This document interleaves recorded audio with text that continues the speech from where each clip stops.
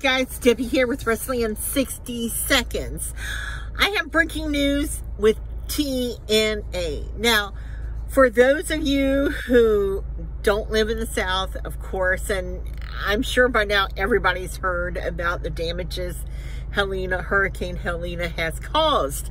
And TNA tried so hard to keep that Spartansburg, South Carolina date this weekend. They rescheduled it and then it just began to fall apart because of the storm and the damage it caused.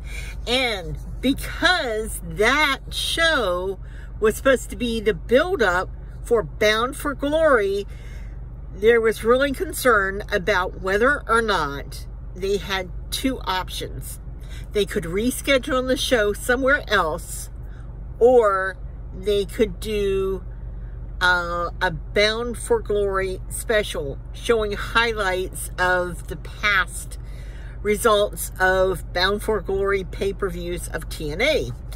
Luckily, they came up with a third option, sort of.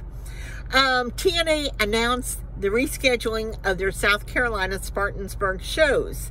So TNA is going to bring Road to Bound for Glory to Nashville, Tennessee, October 2nd and 3rd. Tickets for both shows are $10 a piece, with the proceeds all going to the Hurricane Helena relief efforts in Spartansburg, South Carolina. I mean, wow. I have to give it up for TNA. Thank you guys.